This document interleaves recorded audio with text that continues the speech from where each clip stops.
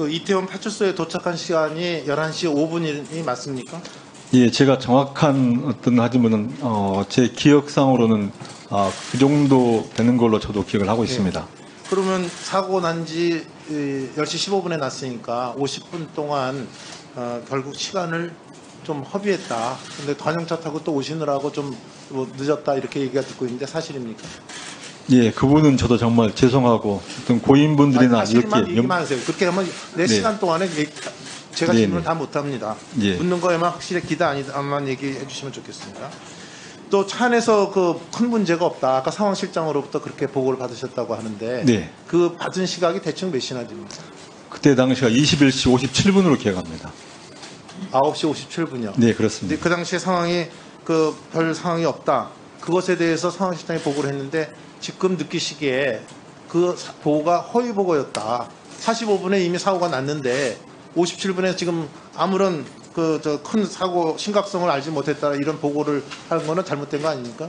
허위 보고 아닙니까?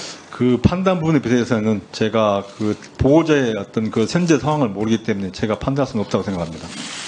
그 허위 보고죠. 9시 45분에 사고가 났는데 9시 57분에 보고를 받았는데 심각하지 않다. 그거 잘못된 보고 허위 보고라고 저는 생각이 되고요. 그다음에 이미 10시 55분에 이 그 다수의 심정지 환자가 발생한 상태입니다. 근데 그때 그 이태원 가구 거리에 뒷짐을 진 채 이태원 파출소로 걸어가는 모습이 담겨진 게 나왔는데 이것은 좀 상황의 심각성을 몰라서 그랬던 겁니까? 왜 그렇게 처, 처신하셨습니까? 예, 정말 죄송합니다. 그러나 정말 어떤 그런 말씀 드리기조차도 부끄럽고 참담하지만 그때까지 정확한 현장 상황을 몰랐기 때문에 상황을 몰랐다 네, 알았습니다. 그렇습니다. 또밤 11시 36분에야 어, 직속 상관이 서울청장한테 보고를 하셨는데 왜 11시 5분에 도착하시고 30분이나 늦게 이렇게 보고를 하셨습니까? 아, 제가 대략적인 어떤 위급 상황을 파악한 게 23시경입니다. 그리고 어, 제가 제 기억으로 23시 10분경에 정확한 상황 파악에서 팔수 옥상에 올라갑니다. 그래서 올라가서 정확한 어떤 위급 상황과 전체적인 상황을 파악하게 됩니다. 그래서 당시 상황은 어떤 응급 조치를 필요한 그런 상황이기 때문에 상황 파악을 하느라고 보고가 늦었다. 아 그렇지는 않습니다. 죄송합니다. 어, 상황 파악 및 또 그 정도 상황이면 이미 어, 상황 계통에서 상황 보고가 됐을 거로 생각을 했었고 저는 우선적으로 어, 응급 조치가 필요한 그런 조치를 하고 있었습니다. 그래서 인근 팔소 그러니까 그 더군다나 우리 증인께서는 위기관리센터 센터장도 하셨죠. 그 위기 관리 봤을 때 이거 한번 즉석 누구한테 보고해야 된다 이런 상황의 매뉴얼이 있을 거라 저는 보는데 예. 그 문제는 또 나중에 따지겠습니다. 예. 우리 이상민 그 행안부 장관이 현장에 도착했을 때 예. 이임재 전 시장은 아, 전 서장은 나타나지 않았다 하는데 사실입니까? 아, 그 부분은 뭐 제가 사실 그 계속 팔소 옥상에서 현장지를 급하게 하고 있었습니다. 저는 어, 장관님이 오신 내용도 몰랐었고 그리고 어떤 연락을 받지 못했기 때문에 저는 계속 급박하게 옥상에서 현장 지휘를 하고 있었습니다. 아, 옥상에 주로 계셨군요. 현장에 계시랑. 예, 거기가 위치가 제일 지역에 좋은 장소였기 때문에 거기서 네. 전체인 군중 흐름과 저 최성범 용산 그 소방서장은 현장에서 이 전 서장을 한 번도 본 적이 없다. 이런 진술을 하고 있다고 지금 판단이 되는데 옥상에 있기 때문에 그랬다. 이렇게 아, 그 이해하고 중간에 제 기억으로는 24시 30분경에 소방에서 소집한 긴급 현장 통제단 관계기관 회의가 있었습니다. 거기에 참석한 사실이 있습니다. 그러면 11시 5분에 도착했다고 아까 말씀하셨는데 용산 경찰서 상황 보고서에는 이 전 서장이 밤 10시 20분쯤 현장에 도착해 지휘했다. 이런 기재가 되어 있다고 하는데 이거 잘못 허위로 작성된 겁니까? 아, 그 부분은 뭐 죄송스럽기는 하지만 어, 그 당시에 제가 저는 현장 정말 급박한 상황 지휘하느라 그런 상황 보호를 어, 챙기지도 보지도 어떤 지시한 적도 없습니다. 어떻게 해서 그래 된 부분은 사실은 제가 죄송스럽지만 잘 모르고 있습니다. 아, 지금도 모르고 계세요? 그 후에 이 파악을 안 해보셨습니까? 아, 제가 어, 현장 수습 도중에 어, 대기 발령이 났기 때문에 그런 걸 정확히 저는 파악할 답변을 그렇게 하시면 없었습니다. 아까 상황실장이 나는 허위 보고했다는 어, 저는 심정을 좀 갖고 있고 또 지금 이번에도 보면은 상황 보고서에 이렇게 허위로 기재하면 그 상황실장이 지금 순전히 엉터리로 뭐 보고서도 작성하고 어, 죄송스러운 보고도 말씀이지만 잘못했고 사무실장이 허위 보고했다고 생각하지는 않습니다. 그때 당시에 어떤 상황이 있었고 그런 판단을 근거로 했다고 저는 믿고 있습니다. 네, 알겠습니다.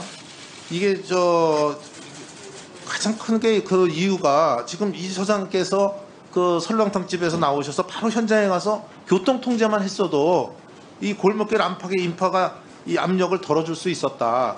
그랬다면 참사를 막을 수 있었다. 이런 얘기가 있는데 이거에 대해서 어떻게 생각하십니까? 예, 저도 지금 생각해 보면 어, 조금만 그 상황을 알았더라면 그렇게 하지 못한 정말 참담한 심정이고 정말 죄송스럽게 생각합니다. 네. 근데 하여튼 어, 그 말씀 내가 충분히 이해하면서도 좀 늑장 보고라든지 직무 태만이라든지 또 임무 수행에 있어서의 좀 어, 무능함 이런 것들이 저는 좀 나타나지 않았나. 그래서 이런 참사가 있다고 저는 좀 아쉬움을 표시하면서 어, 좀 어, 우리 어, 유미진 총경께 질의하겠습니다. 그, 그 11시 40분에 상황실로 복귀하셨습니까? 복귀하신 시간이 얼- 언제입니까? 24, 어, 유미진 정인 어, 마스크 벗고 하세요. 23시 39분에 잘 안 들립니다. 좀 크게 말씀해 주시기 바랍니다. 저 마이크를 좀 갖다 대고 큰 소리로 좀 얘기해 주세요. 23시 39분에 상황실에서 연락을 받고 그때 알게 됐습니다. 23시 39분이요. 네, 알겠습니다. 그러면 그 보고 연락을 어떤 형식으로 보고 받으셨습니까? 상황실 직원으로부터 압사 신고가 있다는 연락을 받았습니다. 그렇다고 하면 이런 그 사고가 난 지 1시간 24분 정도 후에 상황을 인지하셨다. 이렇게 인식해도 되겠습니까?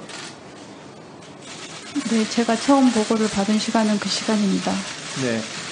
그다음에 그 1시간 46분이 또 흐른 후에 사고가 난지 그 0시 1분에야 그 김광호 청장한테 보고를 문자로 하셨습니까? 보고를 어떻게 하셨습니까? 상황실 직원한테 연락을 받고 상황실로 돌아가서 어, 그 상황팀장한테 용산 서장이 서울청장한테는 보고를 해서 서울청장이 현장으로 나가고 있다는 연락 얘기를 들었습니다. 그래서 서울청장은 이미 현장으로 나가고 있기 때문에 어, 가용 경력을 빨리 현장으로 배치를 하는 게 급선무라고 생각을 했고 가용 경력을 먼저 보낸 다음에 그 사항을 정리를 해서 서울청장한테 문자로 보고를 했습니다. 상황관리관이 서울 청장한테 보고해야 되는 것이 정상인데 오히려 김광호 경찰 서울청장보다도 우리 상황관리관이 더 상황이 늦었다. 이렇게 시간들도 나오는데 그것에 대해서 인정하십니까? 죄송합니다. 예.